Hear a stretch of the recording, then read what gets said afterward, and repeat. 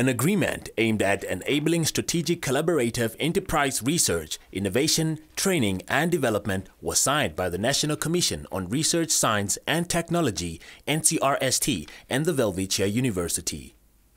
Professor Scholastika Iipinge from the Welwitchia University gave her comments on the partnership. This MOU, ladies and gentlemen, comes at a time when Welwitchia University is expanding its research capacities by launching two additional bachelor programs, which will encompass supervised research and innovation in the discipline of computing, accounting, and finance.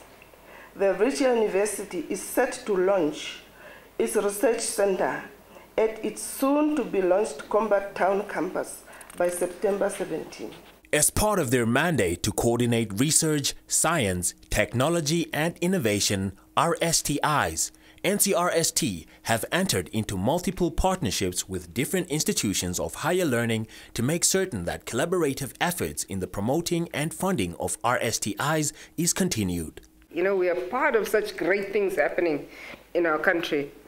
In terms of the Act, our Act, our establishing Act, the Research, Science and Technology Act, Act 23 of 2004, which is our enabling legislation, the NCRST has a wide and very important mandate of promotion, coordination, and development, as well as funding of research, science, and technology, and innovation in Namibia.